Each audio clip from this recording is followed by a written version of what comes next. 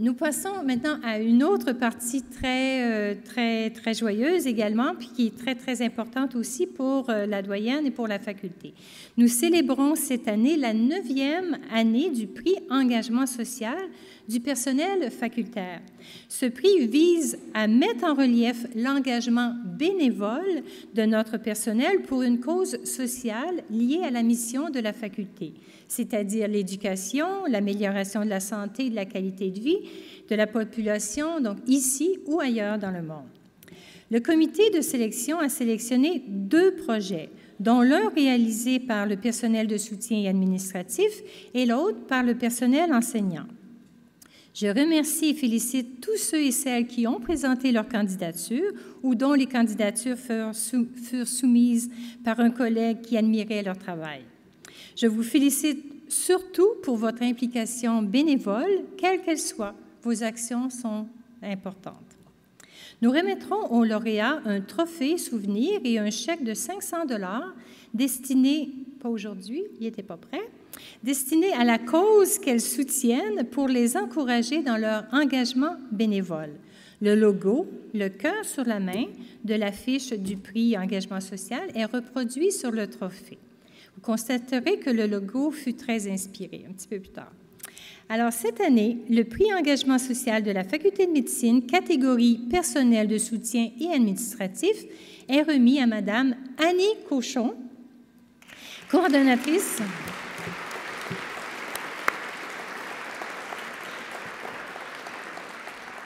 coordonnatrice de stage au département de nutrition. Ah, oh.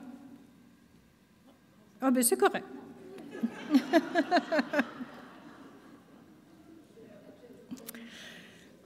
L'année prochaine, je ferai moins de courriels. c'est pas grave. Alors, diplômée de nos programmes de nutrition et détentrice d'une maîtrise en nutrition internationale, Madame Cochon s'implique depuis 2015 à la Fondation Le Cœur sur la main, qui encourage le développement communautaire dans une approche d'automisation des bénéficiaires. Elle agit à titre d'administratrice bénévole au conseil d'administration à Montréal, mais également sur le terrain. À l'été 2017, elle a pris de son temps de vacances personnelles pour aider l'orphelinat Notre-Dame de San Milima au Cameroun afin de consolider plusieurs des actions et opérations en cours, dont le développement d'entreprises d'économie sociale. Madame, Madame Cochon vous en dira un petit peu plus. Alors, vraiment bravo. Venez.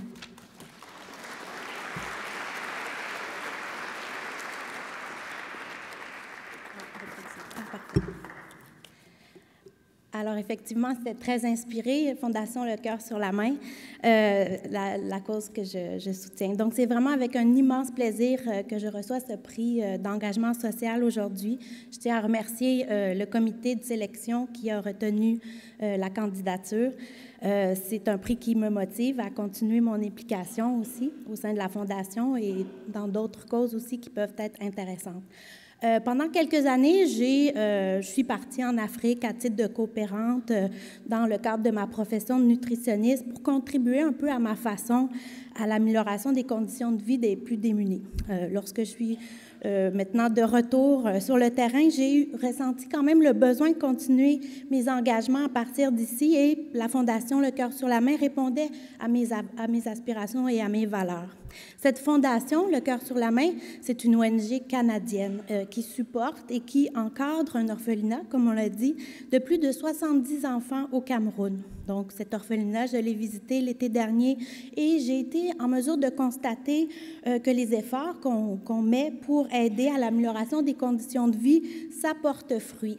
Euh, les dernières actions et activités qu'on a soutenues dans les dernières années tournaient autour de l'éducation sanitaire pour améliorer les conditions de vie et d'hygiène et de santé. On a fait la construction de puits, de latrines aussi pour améliorer l'accès à l'eau potable. Euh, donc, vous savez, le, 500 dollars canadien, qui 500 dollars en argent canadien, je l'ai, je, traduit en, argent local, ce qui donnait 216 000 francs CFA, ce qui est quand même une somme substantielle qui va vraiment aider à euh, nous inspirer pour euh, faire d'autres projets sur le terrain qui auront une portée à moyen et à court terme. Donc actuellement, c'est sûr que l'enjeu, c'est vraiment la pérennisation des activités. c'est pourquoi qu'on a ouvert un restaurant solidaire dans la capitale Yaoundé, qui donc les revenus sont ensuite redistribués pour le budget de fonctionnement et pour les repas des orphelins. Euh, donc, c'est sûr que la coordonnatrice de stage en moi ne sort jamais très loin.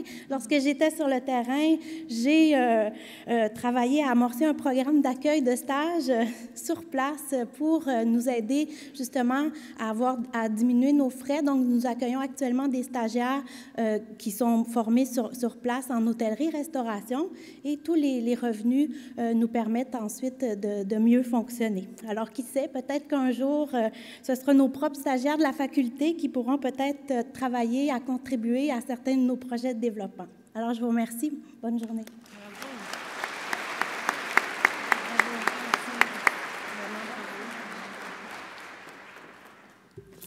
Vraiment bravo. Alors, cette mission rejoint euh, sans aucun doute euh, celle de la faculté de médecine.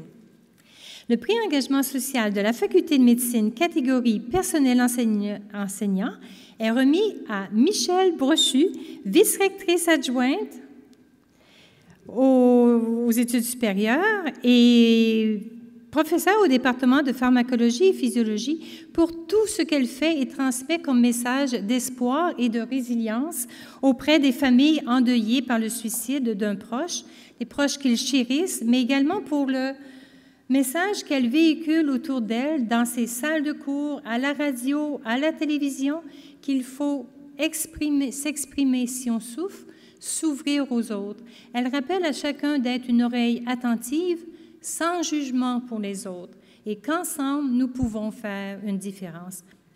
Alors, Madame Brochu s'adressera à vous.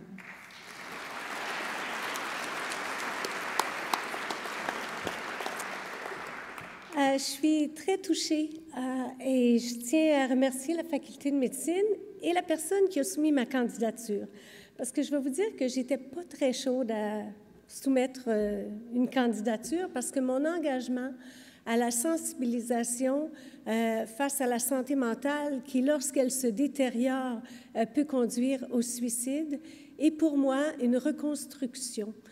Euh, mon fils Maxime, lorsqu'il avait 16 ans, en 2012, a quitté la maison. On l'a cherché pendant 33 jours et son corps inanimé a été retrouvé dans un boisé à 100 km de chez nous. Un an et demi plus tard, on a eu le rapport du coroner qui disait mort d'hypothermie dans un contexte suicidaire. Alors, je prends ici quelques secondes pour remercier mes collègues de la faculté de médecine et en particulier ceux du département de physiologie qui me soutiennent depuis ce temps-là.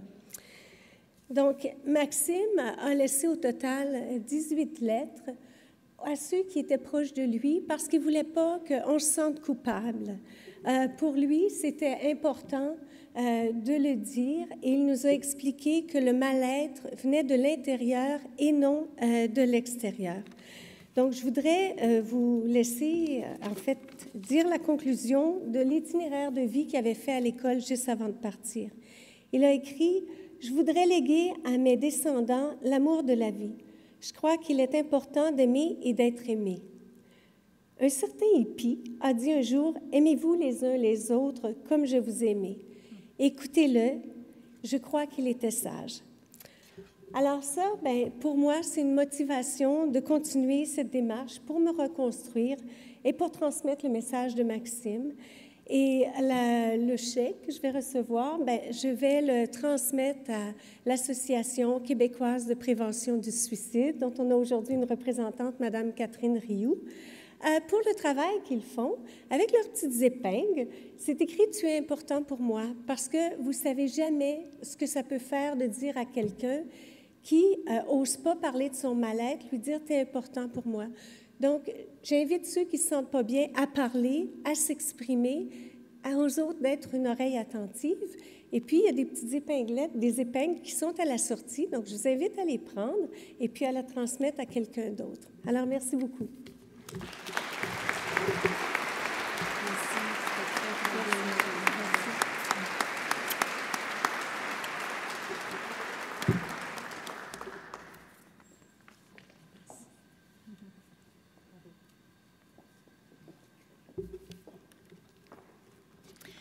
Alors, j'oserais dire qu'après tout ça, que Mme euh, Brochu est vraiment un exemple de courage pour nous tous, que nous saluons vraiment.